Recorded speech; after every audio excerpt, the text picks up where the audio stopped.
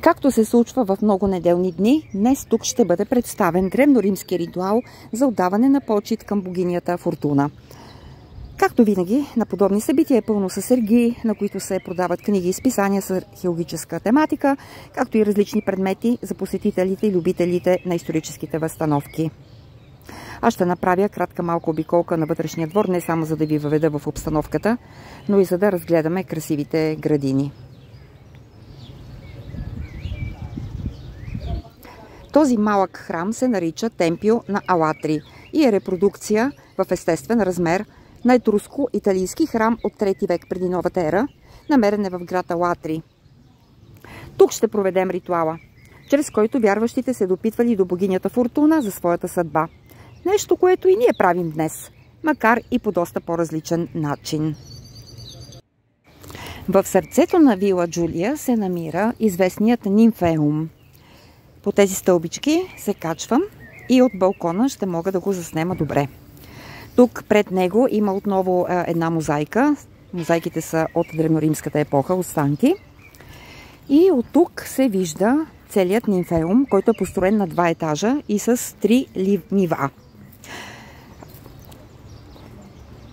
Това е мозайка, представляваща тритон и тя е от древноримски времена, а това са 8 на брой кариатиди. Това са фигури, които а, на практика държат а, постройката. Това са колони с а, формата на, на женски фигури. В Никиите има статуи на различни богове, на Меркурий, на Еркулес и други.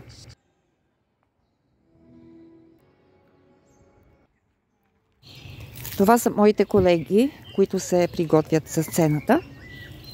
А пък аз ще направя една малка разходка в задната градина, която много ми харесва.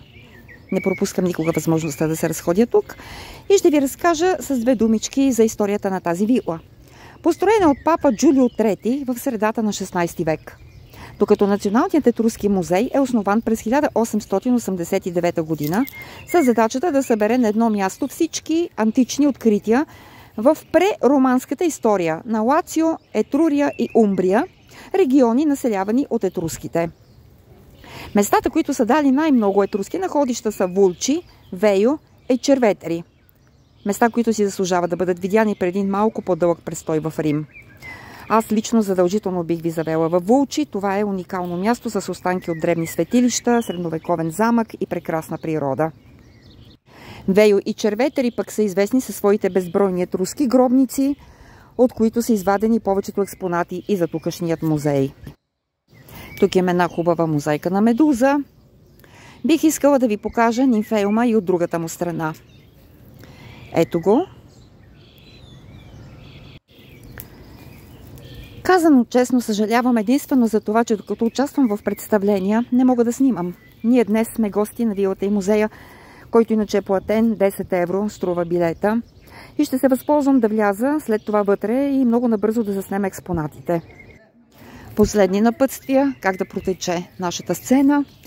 Ритуалът е наистина много хубав. Ние днес сме свещенослужителки на богинята Фортуна.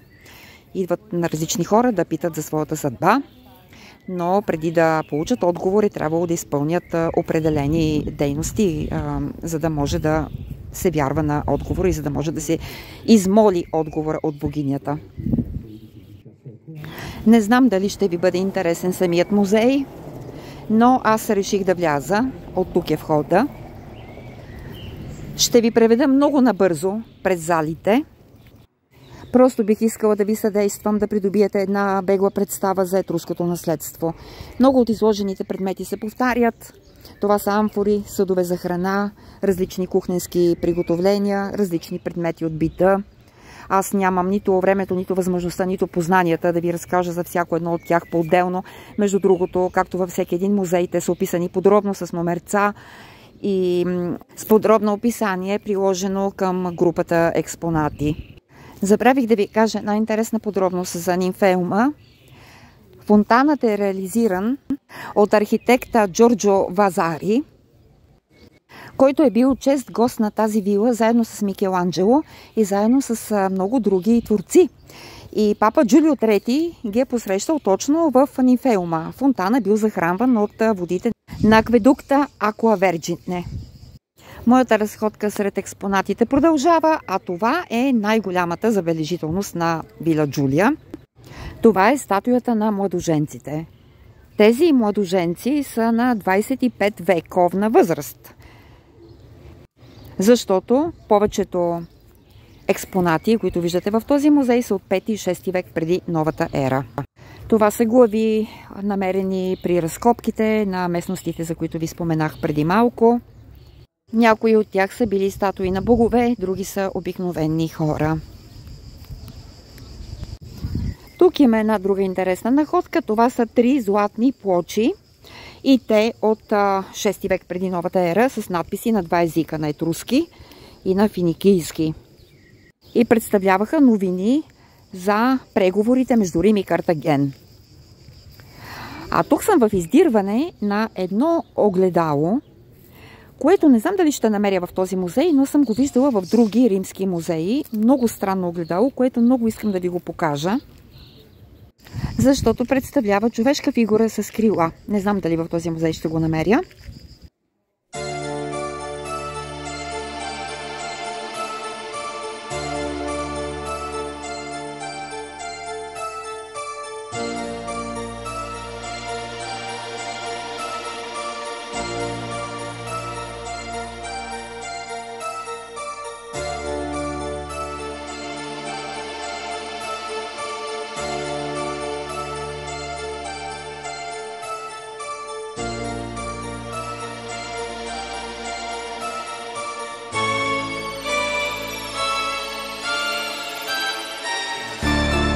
Ето го. Ето го огледалото с фигурата с крила. Значи това е останка от 3-4 век преди новата ера. Вероятно даже 5 век преди новата ера. Как са могли тогава по това време да изобразяват крила ангелски? Това е моят въпрос.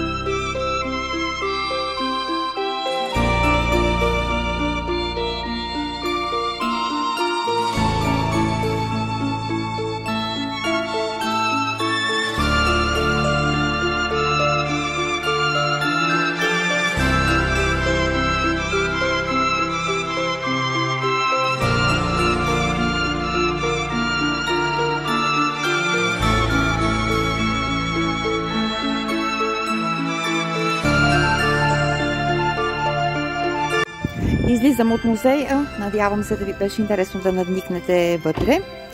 Тук в далечината пред храма от Алатри виждам хора и бих искала да почакам да видя дали евентуално ще ни пуснат вътре, но директора на музея разказва, а пък той много обича да говори, много дълго време говори, той е много млад, много ентусиазиран археолог, много кадърен, много знаещ, но наистина неговите речи са с часове, така че няма да мога да изчакам. Така че обиколката ми приключва. Един последен поглед на красивите фрески по стените и по тавана. Съжалявам, че не можах да ви покажа зодиакалната зала, в която са представени 12-те знака, а, без два. Два липсват. Но нека да остане нещо и за вас да откриете, когато имате възможността да посетите тази вила, което искрено ви го пожелавам. Тя рядко бива включена в туристическите маршрути и обикновено е обект на посещения за хора, които имат малко повече време в Рим. Намира се на спирката на метрото Фламиния, на север от Вила Бургезе и в близост до Националната галерия за модерните изкуства. Желая ви приятен завършек на неделния ден и до скоро!